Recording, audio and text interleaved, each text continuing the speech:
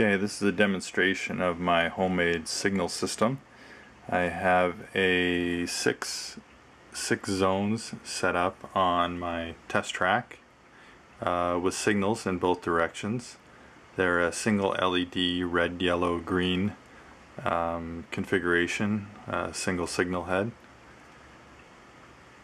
Over here I have six BD20s uh, the DCC is running through each of the BD20s and I'm taking the negative voltage output from the BD20 and sending that over to a series of relays and diodes which will convert the negative signal to a uh, positive output um, to the red and green um, LEDs.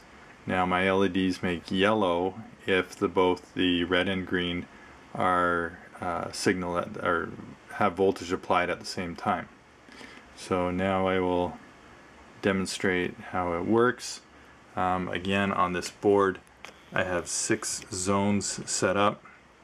They're only about uh, 8 inches long for each zone and you can see the last signal right now is red. It is uh, occupied by the engine um, and the zone before is signaled as yellow.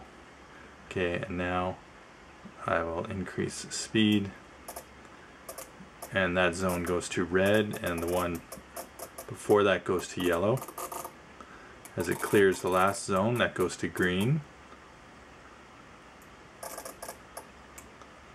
don't know if you can hear the relays clicking.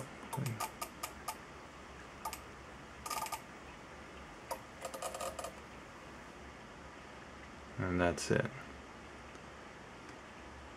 And the same thing's happening in the uh, signals that are facing the opposite direction. They are also changing from red to uh, yellow to green as the uh, uh engine clears those zones.